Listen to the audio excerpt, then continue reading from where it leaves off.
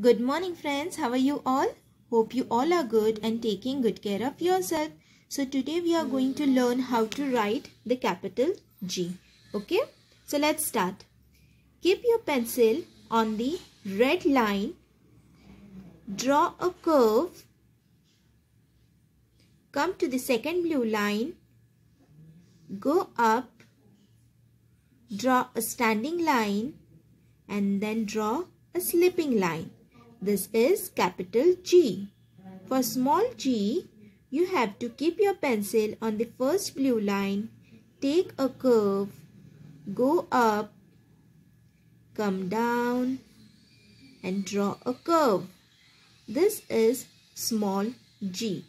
Okay, let's see it once again.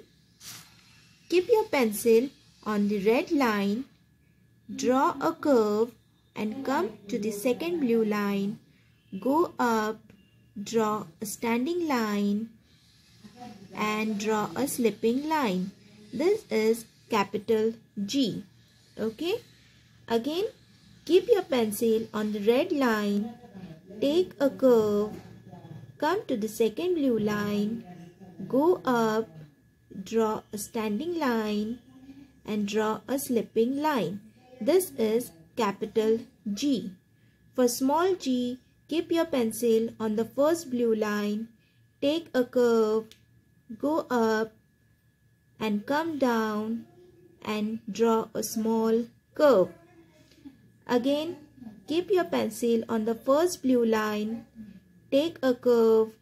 Go up, come down and take a small curve. This is a small g. Okay, you have to practice this at home.